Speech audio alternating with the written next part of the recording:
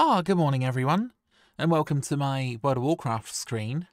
So, I believe the Burning Crusade pre-patch has dropped in some form or another, and we've got this little pop-up, so I thought I'd go through it very quickly. So, it says coming soon, um, Burning Crusade. Uh, Classic will soon be split in two separate games, Burning Crusade and Classic era. When this happens, you'll choose which game to play on going forward per character. Oh, okay, so this is interesting. So you could potentially move one character to Classic and one character to um, the Burning Crusade.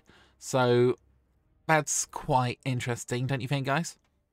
So essentially, yeah, I assume 80% of people are going to move over to Burning Crusade Classic, but I think a lot of guilds are going to have a lot of holes in basically if we even can reform guilds and I I assume that servers are going to be kind of kept the same on the Burning Crusade, but I have heard that there's going to be a lot less servers on um, World of Warcraft Classic, so again, there's probably going to have to be a lot of uh, reshuffling, I think, that's going to go on. Um, if you uh, have to clone your character, um, sorry, if you wish to clone your character and pay in both play in both versions, that service will be available for a fee. Now, honestly, I really hope the fee is really small, like a pound or two pound or something, because it would be quite nice to have a character in both.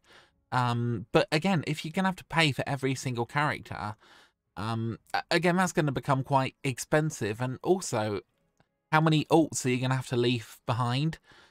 So, for example, I've got, uh, looking through my characters, I've got Orphorius here, who um, does a lot of herbing and stuff. And actually, I know is stereotypical, supplies my warrior with a lot of different potions and stuff. Also got Marathon here, who does all my disenchanting work. And you might have seen previous videos where I buy stuff from the auction house and disenchant it for a profit. Um, but yeah, um, oh gosh, I've got my Bijou seller. Look how smartly he's dressed. Um, so I'll occasionally go to the island and resell a few Bijous, basically. Um, it is just a bit of fun, really. but um, yeah, so I've got these characters, and I'm going to have to drop a few of them if I'm going to um, move to the Burning Crusade. I mean, I suppose I could move them all over, but I don't know. It's going to be kind of sad to say goodbye to Classic, but I, I guess the first time around we didn't really have a choice. So it's kind of nice Blizzard are at least giving us a little bit of a choice. Oh, lastly, I wanted to talk about when Classic is coming out. So today on the calendar, it is the 21st, uh, Wednesday, the 21st of April.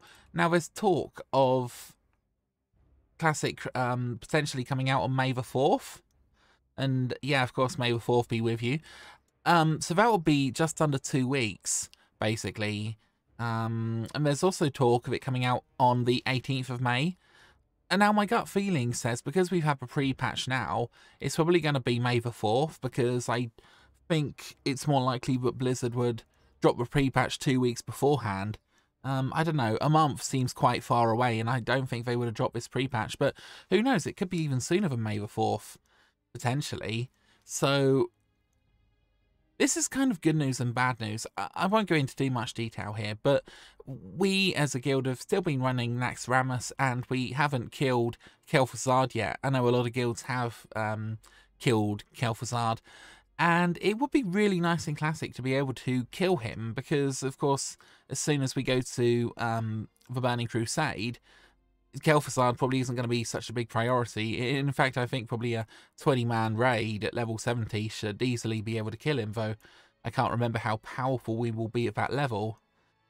But, um, yeah, it, I'm going to make a few more videos about my experiences with Classic overall, but it's been honestly an incredible and wild ride, and I've really, really enjoyed being part of a great guild and all the adventures I've sort of had. And one of the things that makes me really sad is the fact that we're going to leave behind 40 man raids. So I don't know if you guys know, but I think um, the Burning Crusade had a lot of 20 man raids, which I never really liked, if I'm honest. I never really liked the um, Zul'Gurub runs.